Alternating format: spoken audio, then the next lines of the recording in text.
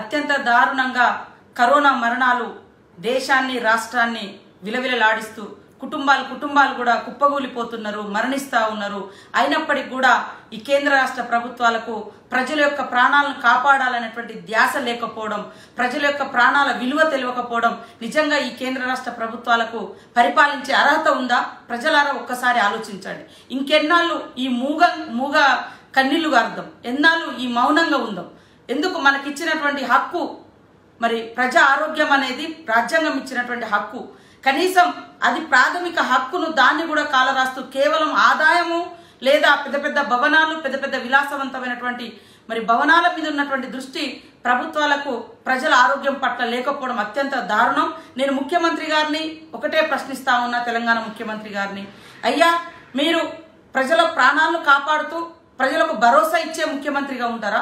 ఇంత కష్టకాలంలో ఉన్నటువంటి ప్రజల యొక్క శవాల మీద పేలాలు ఏరుకునే విధంగా వారి చితిమంటలతోటి చలిగాచుకునే విధంగా లాక్డౌన్ వద్దు ఆదాయమే ముద్దు అనేటువంటి ఇలాంటి ప్రకటనలు ఈ టైంలో చేసి ప్రజల యొక్క మానసిక స్థైర్యాన్ని దించేసి తగ్గించి పేదవాడికి ఎక్కడ కూడా ఉచిత వైద్యం అందకుండా సగం మనిషి డబ్బు లేదు నాకు మంచి వైద్యం పొందలేను అనేటువంటి ఒక దిగులుతో చనిపోతున్నటువంటి పరిస్థితి ఉంది.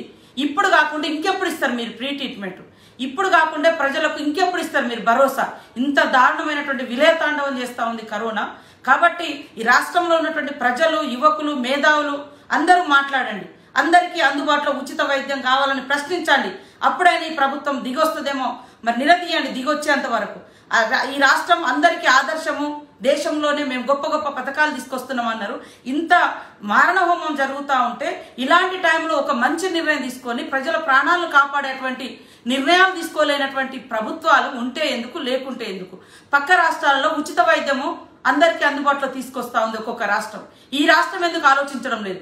ధనిక రాష్ట్రం అని చెప్పినటువంటి ముఖ్యమంత్రి కేసీఆర్ గారు ఈ ధనిక రాష్ట్రం యొక్క ధనం ఎవరి ఖాతాలోకి వేయడానికి ఈరోజు పేద ప్రజల యొక్క మరణాలను మీరు కళ్ళారా చూస్తున్నారని నేను అడుగుతా ఉన్నా.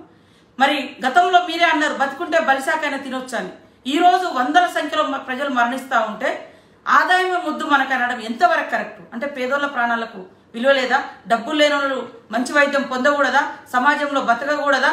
ఇప్పటికైనా దయచేసి ముఖ్యమంత్రి గారు ఆలోచించండి. ఉచిత వైద్యం అందరికీ అందుబాటులో ఇవ్వండి.